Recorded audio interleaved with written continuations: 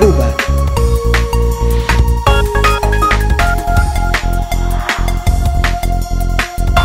Nieuws in het Nederlands. Internationale oefening Tres Colos wordt eens per twee jaar gehouden en dit jaar op en nabij Aruba. Dit vindt plaats van 19 tot en met 26 oktober. In deze periode zullen Nederlandse, Amerikaanse en Franse militairen participeren aan de oefening. Dit jaar nemen Arubaanse militairen ook deel aan de oefening. Tres Colos drie kleuren is sinds 2010 bekend onder deze naam. De drie kleuren refereren aan de kleuren van de vlaggen van de historische deelnemende landen.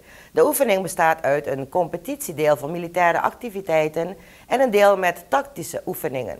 Het competitiedeel bevat onderdelen zoals een speedmars, een waterhindernissenparcours, een amfibische oversteek, schieten en navigatieopdrachten. Het tactische gedeelte bestaat uit diverse oefeningen waarbij een uitlopende militaire scenario's wordt beoefend. Voordat we aan het einde komen van onze programma wil ik u herinneren aan het DA met de grootste aanbod op het eiland van schoonheidsproducten en met de voordeligste prijzen op het eiland. En B nu de grootste voorraad op het eiland van medicijnen, zelfzorgmiddelen en thuisbezorging van medicatie, omdat uw gezondheid hun prioriteit is. Tot morgen. Amigo Aruba.